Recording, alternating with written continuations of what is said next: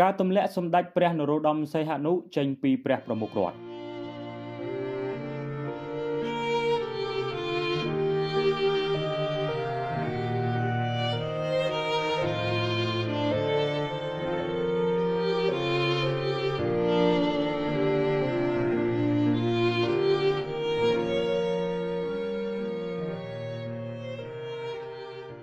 ជំនាញជនខ្មែរអាចចូលរួមវិភាគទានគ្រប់គ្រងបេសកកម្មស្រាវជ្រាវធ្វើនីតិសម្បទាអភិវឌ្ឍនិងផ្សព្វផ្សាយវប្បធម៌សិល្បៈភាពយន្តចម្រៀងខ្មែរដែលកប់បាត់តាំងពីទសវត្សរ៍ទី50និង60តាមគណនីធនាគារខាងក្រោមរបស់ក្រមព្រះសូរិយា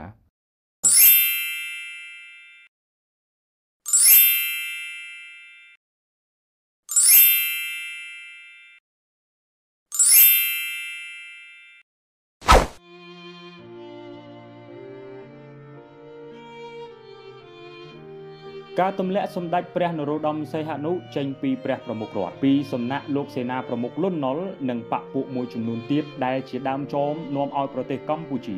ធ្លាក់ចូលទៅក្នុងភ្នក់ភ្លើងសង្គ្រាមស៊ីវិលពីពេញផ្ទៃប្រទេសរហូតឈានដល់កើតមានរបបវាពិឃាតថែមទៀតផងមានពាក្យចចាមអារាមជាច្រើន បានមានតាំងពីថ្ងៃរដ្ឋប្រហារនោះរហូតដល់សពថ្ងៃដោយខ្លះថា សម្ដេចព្រះនរោត្តមសីហនុនិងលោកសេនាប្រមុខលន់ណុល ជាបពពួកតែមួយរៀបគម្រោងដើម្បីស្រោចស្រង់ប្រទេសដោយឲ្យលោកលន់ណុលធ្វើជារដ្ឋប្រហារទម្លាក់ព្រះអង្គហើយខ្លះទៀតថាសម្ដេចព្រះនរោត្តមសីហនុរត់ចេញពីឆាកនយោបាយនៅក្រោយពេលដែលគេបានរកឃើញកំហុសមួយចំនួន។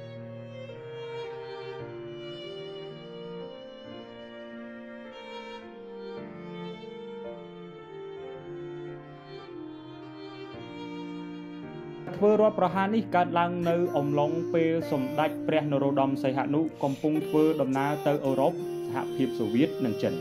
ហើយបាតកម្មប្រឆាំងវៀតណាមទ្រង់ទ្រីធំជាច្រើនបានផ្ទុះឡើងនៅភ្នំពេញក្រុមបាតកោបានវាយប្រហារស្ថានទូតវៀតណាមខាងជើងនិងវៀតកុងរដ្ឋាភិបាលបដិវត្តបណ្ដោះអាសន្នសាធារណរដ្ឋវៀតណាមខាងត្បូង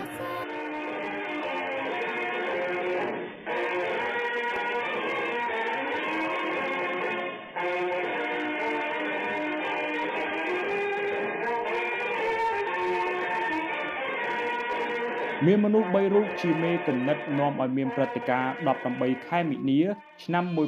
1970ទី1ព្រះអង្គម្ចាស់ស៊ីសវត្តសិរីមតៈទី2ឧត្តមសេនីយ៍ឬសេនាប្រមុខលន់ណុលនិងទី3លោកអិនតាំងដោយហេតុនេះទើបមនុស្សទាំង3រូបនេះត្រូវបានគេហៅថាមនុស្ស18មិនិនាយោងតាមសៀវភៅប្រវត្តិសាស្ត្រមួយ សាធារណរដ្ឋខ្មែរដែលបានសរសេរដោយលោកបណ្ឌិតសាស្ត្រាចារ្យរស់ចន្ទ្រាបុត្រ បានរៀបរាប់ថាព្រឹត្តិការណ៍រដ្ឋប្រហារថ្ងៃទី18មិនិនាកើតឡើងទៅបានដោយសារមានការសម្របសម្រួល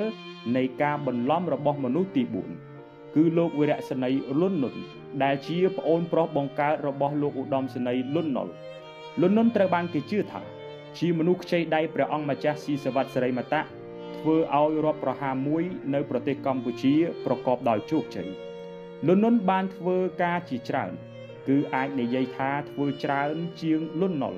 ដែលជាបងប្រុសរបស់គាត់និងជាមនុស្សម្នាក់ចេញមុខទទួលខុសត្រូវ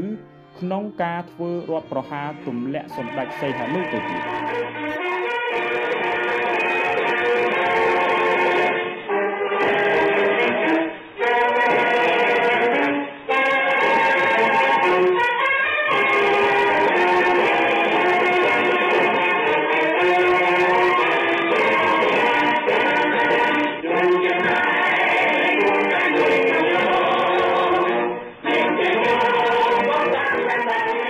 សម័យសង្គ្រាមនៅវៀតណាម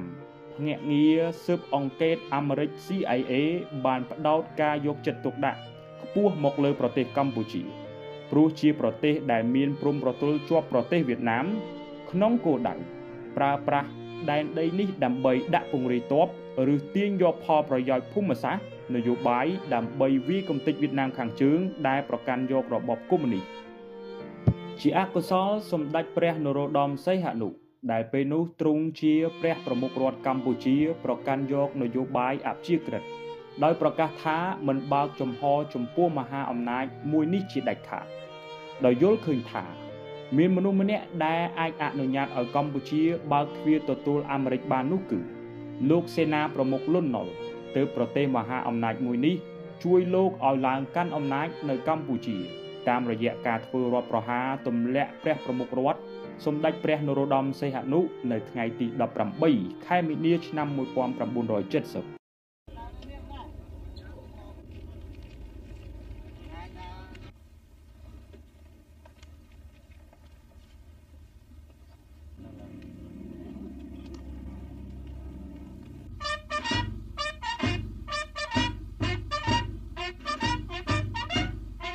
ក្រោមការដឹកនាំរបស់សេនាប្រមុខលន់ ណុលសេដ្ឋកិច្ចកម្ពុជាត្រូវធ្លាក់ចុះហើយភាពអត់ឃ្លានបានកើតឡើងប្រជាពលរដ្ឋកម្ពុជានៅតាមព្រំប្រទល់ភាគខាងត្បូងប្រឈមមុខនឹងការទម្លាក់គ្រាប់បែកក្រោមស្នាដៃសហរដ្ឋអាមេរិកដែលមានន័យថាអាមេរិកត្រូវតែទទួលខុសត្រូវលើភាពវិនាសហិនហោចនេះមិនតែប៉ុណ្ណោះក៏មានការចោទជាសំណួរថា តើ CIA ជាអ្នកត្រួសត្រាយផ្លូវសម្រាប់របបខ្មែរក្រហមមកគ្រប់គ្រងប្រទេសកម្ពុជាឬយ៉ាងណា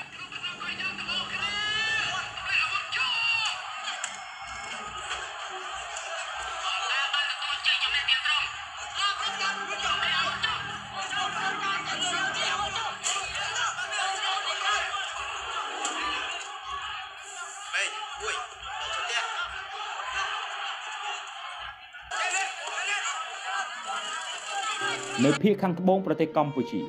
បានរងការទម្លាក់គ្រាប់បែកដោយសហរដ្ឋអាមេរិកវាបានធ្វើឲ្យស្ថានភាពកម្ពុជាធ្លាក់ចុះដុនដាបជាខ្លាំងដែលជាការបង្កើតឱកាសមាសសម្រាប់ខ្មែរក្រហមចូលមកគ្រប់គ្រងប្រទេសកម្ពុជាបានយ៉ាងងាយស្រួលក្នុងរយៈពេល3ឆ្នាំ8ខែ20ថ្ងៃខ្មែរក្រហមបានសម្លាប់ប្រជាជនខ្មែរអស់ចិត្តពាក់កណ្ដាល ប៉ុន្តែ CIA និងពិភពលោកខាងក្រៅបែរជាមិនបានដឹងពីរបបដ៏ឃោរឃៅទាំងនេះទៅវិញទោះជាយ៉ាងណារបបសាធារណរដ្ឋដែលដឹកនាំដោយលោកសេនាប្រមុខលន់ណុលមានរយៈពេលតែ5ឆ្នាំប៉ុណ្ណោះចំណែកជីវិតចុងក្រោយរបស់លោកលន់ណុលត្រូវបានស្លាប់នៅលើរដ្ឋហាវ៉ៃសហរដ្ឋអាមេរិកនៅលើទឹកដីដែលជាមេខ្លោងរបស់ខ្លួន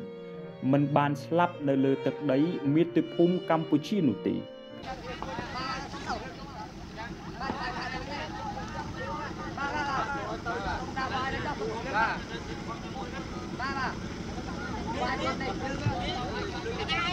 កម្ពុជាឆ្នាំ1969នៅក្នុងឆ្នាំ1969សហរដ្ឋអាមេរិកបានសម្រេចទម្លាក់គ្រាប់បែក B52 លើដែនដីកម្ពុជា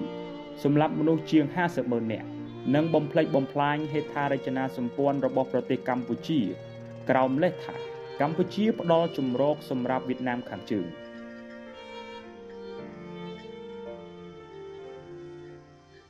កម្ពុជាឆ្នាំ1970សម្ដេចព្រះនរោត្តមសីហនុបានសរសេរក្នុងសៀវភៅរបស់ទ្រង់ក្នុងឆ្នាំ1973ថា CIA ជាអ្នកនៅពីក្រោយរដ្ឋប្រហារទម្លាក់ទ្រង់នាខែមិនិនាឆ្នាំ1970យ៉ាងណាក្តីអតីតប្រធានាធិបតីសហរដ្ឋអាមេរិកលោក Richard Nixon នៅតែចេញបទបញ្ជាឲ្យឈ្លានពានដែនដីកម្ពុជា ដើម្បីកំណត់ទីតាំងនិងបំផ្លាញការិយាល័យរបស់វៀតណាមខាងជើងក្រៅពីនេះគេហទំព័រ Wikimedia ក៏បានចោទប្រកាន់ភ្នាក់ងារ CIA ថាបានជួញដូរអាភៀនពីដែនដីភាគខាងកើតប្រទេសកម្ពុជា ទៅកាន់សហរដ្ឋអាមេរិកនៅក្នុងឆ្នាំ1970ផងដែរ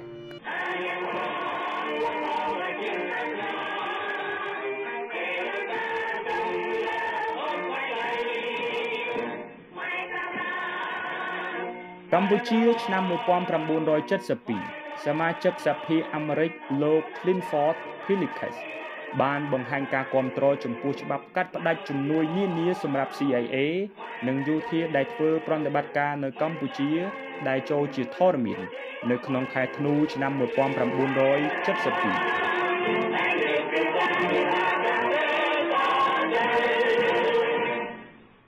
កម្ពុជាឆ្នាំ1982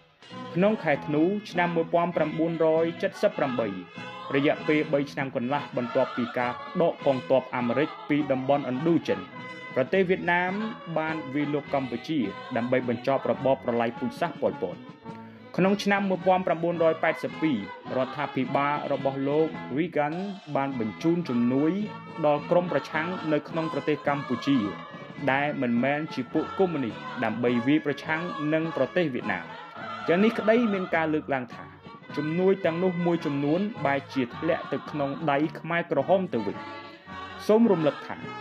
យោធាវៀតណាមបានដកចេញពីប្រទេសកម្ពុជាទាំងស្រុងក្នុងឆ្នាំ1989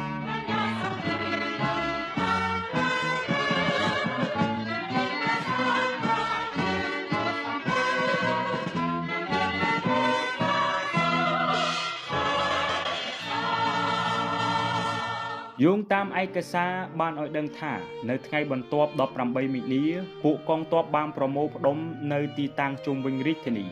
ហើយការជជែកតទល់ត្រូវបានប្រារព្ធឡើងនៅខាងក្នុងរដ្ឋសភាក្រោមការដឹកនាំរបស់លោកអិនតាំងសមាជិកម្នាក់នៃសភានេះគឺលោកកឹមផុនបានចេញមុខប្រឆាំង